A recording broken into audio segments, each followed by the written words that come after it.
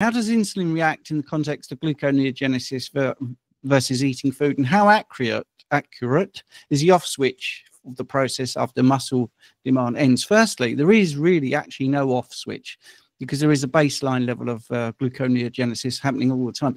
And I have to say this so often because there are influencers out there saying it's stressful on the body, which is such a load of rubbish. That's the politest thing I can say in a members meeting about those people because it happens every single second, gluconeogenesis.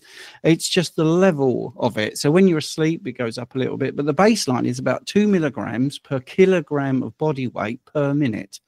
Yeah, that's right. So, uh, so let's let's have a look at that. So, a 70 kilogram person, I've just written down a calculation, is making about 140 milligrams of glucose per minute from gluconeogenesis, which um, which the body wouldn't do if it was stressful. It's it's really not a silly element to talk about this uh, beautiful process in the way that it's allegedly stressful. So it isn't.